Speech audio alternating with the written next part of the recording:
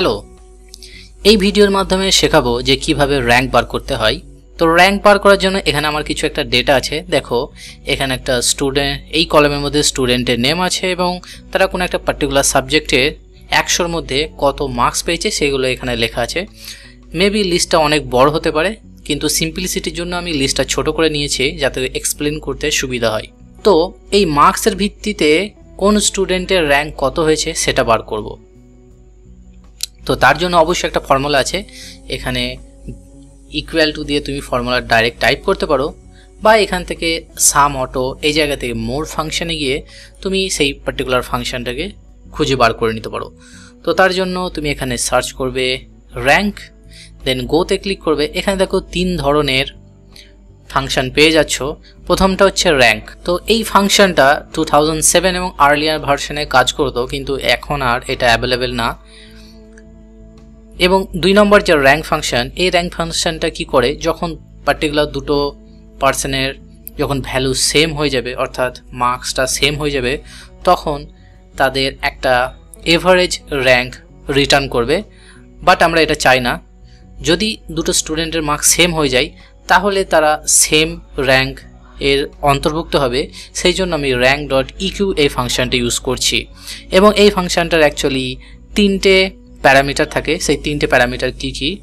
Number reference এবং order তো এখানে দেখো, নাম্বারটা তুমি যখনই ওখানে ওকেতে ক্লিক করে দেবে, তখন এইখানে তোমাকে ফিল করতে হবে নাম্বারটা। তো প্রথম নাম্বারটা আমি এরা সিলেক্ট করলাম এবং সিলেক্ট করার পরে এখানে রেফারেন্সটা তোমাকে সিলেক্ট করতে হবে। তার জন্য আমি এটা রেঞ্জটা সিলেক্ট করলাম। কেবলমাত্র রেঞ্জটা সিলেক্ট করলে হবে না, এটা অ্যাজ এ রেফারেন্স তোমাকে কাজ করাতে হবে। এর জন্য তুমি কিবোর্ড থেকে এফ ফোর ইউজ করতে পারো প্রেস করতে পারো। সেটা আমি আমার ওএসকে থেকে দেখাচ্ছি। ওএসকে থেকে আমি এখানে দেখো এফ এনটা আমি প্রেস করলাম, তারপর এখানে আমি এটা সিলেক্ট করে আমি এফ ফোরটা প্রেস করে দিলাম।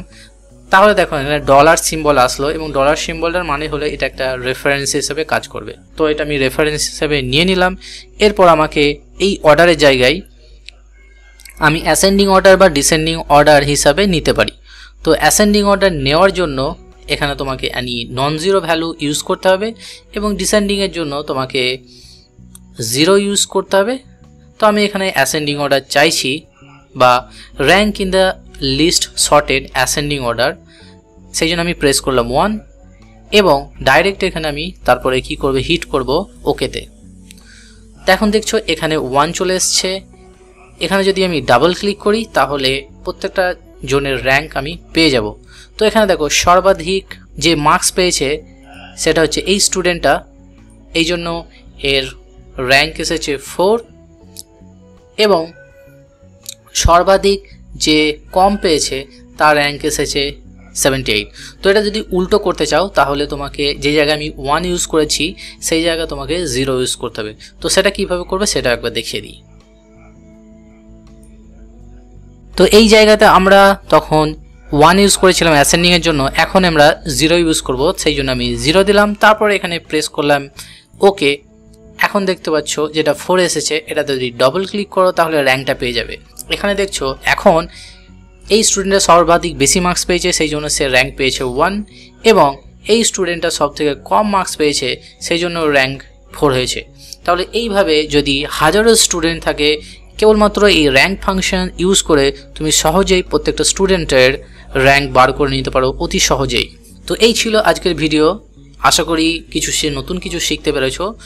যদি শিখতে পারো, অবশ্যই ভিডিওটাকে লাইক করবে এবং যারা এই ধরনের ভিডিও দেখতে পছন্দ করে, তাদেরকে ভিডিওটি অবশ্যই শেয়ার করে দেবে। So thanks for watching this video see you in the next video again